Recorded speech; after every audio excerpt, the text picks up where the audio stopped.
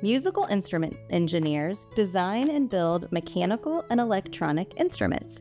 Most of these engineers have music training or a background in music.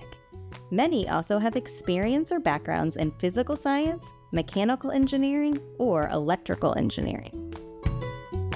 Hello and welcome. My name is Mackie, and today I'm here with Elsie and Greta. Awesome. And today we're going to be making musical instruments. There are going to be two different types of musical instruments that we can make. The first one is going to be kind of like a maraca, and then we are also going to be making a strumming instrument. Shake your instrument.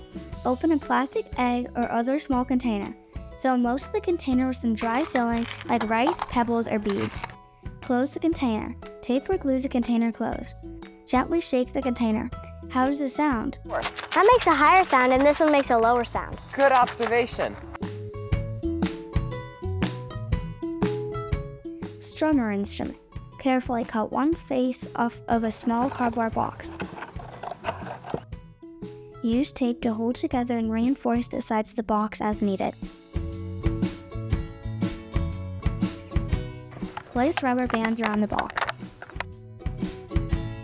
Strum the rubber bands. How does this sound? What do you know about the sounds ma made by using different sized rubber bands or different sized boxes? Thanks, Thanks for watching. Bye.